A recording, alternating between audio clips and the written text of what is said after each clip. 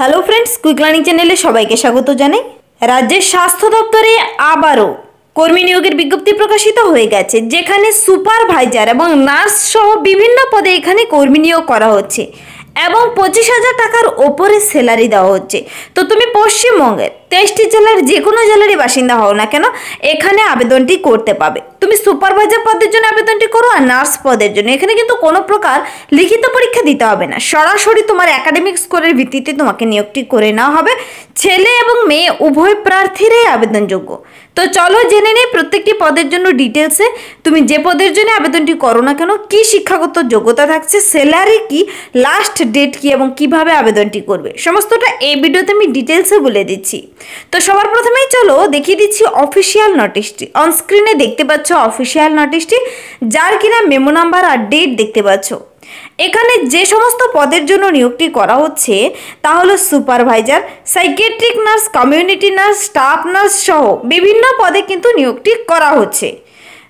তো চলো প্রত্যেকটি পদের জন্য আমরা ডিটেলসে দেখে নিই। দেখো, সবার প্রথমে আমি দেখিয়ে দিচ্ছি সুপারভাইজার পদের জন্য। সুপারভাইজার পদের জন্য দুটি ভাগে কিন্তু, একটি ভাগে চারটি শূন্যপদে নিয়োগটি করা হচ্ছে, আবার দেখো আরও শূন্যপদ রয়েছে। তো এখানে যে চারটি শূন্য পদে নিয়োগটি করা হচ্ছে, তার জন্য সবার প্রথমে দেখিয়ে দিচ্ছি, এই সুপারভাইজার পদের জন্য স্যালারি কী দেওয়া হচ্ছে। দেখো এখানে তোমার স্যালারি দেওয়া হবে পঁচিশ হাজার টাকা করে প্রতি মাসে শুরুতেই। আর বয়সটি থাকতে হবে মনে রাখবে একুশ থেকে চল্লিশ বছরের মধ্যে। এই যে স্বাস্থ্য দপ্তরের নিয়োগটি হয়, এখানে মজার কথা হলো বয়স সীমা নিয়ে টেনশনে একুশ থেকে শুরু হচ্ছে চল্লিশ বছর পর্যন্ত কিন্তু আবেদন করতে পাবে। তারপরে এবার বিশেষ বিশেষ ক্ষেত্রে রিজার্ভেশন ক্যাটাগরিতে আবার বয়সের ছাড় দেওয়াই রয়েছে। দেখো, যদি তুমি এই পদের জন্য আবেদন করতে ইচ্ছুক থাকো, তবে তোমার শিক্ষাগত যোগ্যতাটি জানতে হবে। তা হলো যে কোনো স্বীকৃতি প্রতিষ্ঠান থেকে যদি তুমি শুধুমাত্র স্নাতক পাশ করে থাকো, স্না, সায়েন্স বিভাগে, স্নাতক পাশ করা থাকলে তুমি এখানে আবেদনটি করতে পাবে। সঙ্গে কম্পিউটারের দক্ষতা থাকতে হবে, আর দু চাকা গাড়ি চালানো জানতে হবে, আর গাড়ির লাইসেন্স থাকতে হবে। তবে এই সমস্ত যোগ্যতাগুলি থাকলেই তুমি সুপারভাইজার পদের জন্য আবেদনটি করে দিতে পাবে। দেখো, এই পদের জন্য যদি আবেদন করতে ইচ্ছুক থাকো তবে নিয়োগটি কিন্তু করা হবে তোমার একাডেমিক স্কোরের যে নম্বর পেয়েছ, সেই একাডেমিক নম্বরের ভিত্তিতে তারপর অভিজ্ঞতার উপর ভিত্তি করে তোমার কিন্তু মোট পঞ্চাশ নম্বরের একটি পরীক্ষা নেওয়া হবে।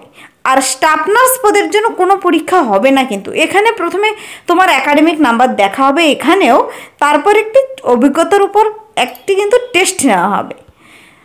তারপর দেখো আমি দেখিয়ে দিচ্ছি যে নার্স পদের জন্য তাহলে কমিউনিটি নার্স। এই যে কমিউনিটি নার্স পদে যদি আবেদনটি করতে ইচ্ছুক থাকো, এখানে কিন্তু কমিউনিটি নার্স, সাইকিয়াট্রিক নার্স বিভিন্ন পদে নিয়োগটি করা হচ্ছে। তো এক এক করে দেখাচ্ছি, কমিউনিটি নার্স পদের জন্য তোমাকে প্রতি মাসে স্যালারি দেওয়া হবে পঁচিশ হাজার টাকা করে। দেখো এখানে বয়সটি থাকতে হবে জানো, চল্লিশ বছরের মধ্যে। আর শিক্ষাগত যোগ্যতা বলা হয়েছে শুধুমাত্র তুমি যদি যে কোনো স্বীকৃতি প্রতিষ্ঠান থেকে জিএনএম কোর্সটি কমপ্লিট করে থাকো, তবেই আবেদনটি করতে পাবে। নেক্সট দেখো, আরও নার্স সাইকিয়াট্রিক নার্স এই সাইকিয়াট্রিক নার্স পদের জন্য তোমার থাকতে হবে বিএসসি কোর্সটি কমপ্লিট করা থাকতে হবে তবে আবেদনটি করে দিতে পাবে। এখানে শূন্যপদ দেখতে পাচ্ছ, আর বয়সটিও চল্লিশ বছরের মধ্যে।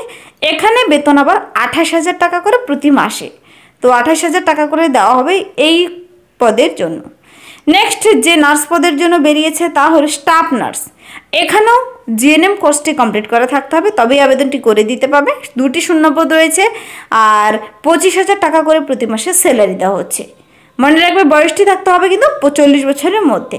তো এখানে নিয়োগটি করা হবে একাডেমিক স্কোরের ওপর নাম্বার একাডেমিক একাডেমিকের যে প্রাপ্ত নাম্বার পেয়েছে তার উপর ভিত্তি করে। এখানে কোনো প্রকার লিখিত পরীক্ষা দিতে হবে না। এবার প্রশ্ন হচ্ছে, আবেদনটি কীভাবে করবে আর কোথায় এই নিয়োগটি হচ্ছে? এই যে নিয়োগটি হচ্ছে, এটা কিন্তু আলিপুরদুয়ারের তরফ থেকে। তো আমি বলে দিচ্ছি ডিটেলসে ঠিকানাটি। দেখো, আবেদনটি করতে হলে অফলাইনে আবেদন করতে হবে। আবেদনের জন্য আবেদনপত্রটি তো তোমাদের প্রথমে ডাউনলোড করে নিতে হবে। তার লিঙ্ক আমি এই ভিডিও নিচে ডিসক্রিপশন বক্সে ডাইরেক্ট দিয়ে রাখব। তো সেখান থেকে আবেদনপত্রটি পেয়ে যাবে। সে আবেদনপত্রটিকে সুন্দর করে প্রিন্ট আউট করে বের করে হাতে কলমে পূরণ করে, তারপর নাম, ঠিকানা, যা যা বলেছে সুন্দর করে লিখে ছবি একটা সেটে দেবে আর নিচে সিগনেচার কিন্তু অবশ্যই করবে। তারপর ডিমান্ড ড্রাফট কাটতে হবে। যা যা ডকুমেন্টস বলেছে তা অ্যাটাচ করে দিয়ে স্পিড পোস্ট অথবা রেজিস্টার পোস্ট অথবা কুরিয়ারের মাধ্যমে পাঠিয়ে দিতে পারো।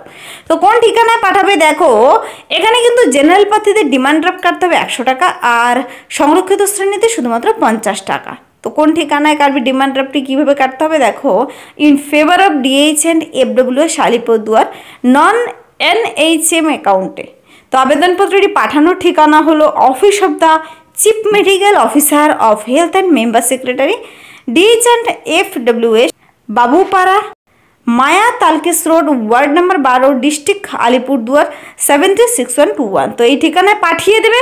মনে রাখবে সাতাশ নয় দু হাজার তেইশ কিন্তু লাস্ট ডেট মনে রাখবে কিন্তু লাস্ট ডেট সাতাশ তারিখ এ মাসের। বিকেল পাঁচটা পর্যন্ত সময় রয়েছে। সাতাশ তারিখ, সাতাশ নয় দু হাজার তেইশ লাস্ট ডেট যারা আবেদনটি করবে বলে ভাবছ, অবশ্যই আবেদনটি করে দিতে পারো। নার্স পদেই হোক আর সুপারভাইজার পদেই হোক। আর বিষয়তে যদি আরও কিছু জেনে নিতে চাও, একটি ইমেল আইডি দেওয়া রয়েছে। ইমেল আইডিতে যোগাযোগ করে দেখে নিতে পারো। তো এই ছিল আজকের একটি ইম্পর্ট্যান্ট সাবজেক্ট যদি বুঝতে কোথাও অসুবিধা হয় কমেন্টসে জানাবে।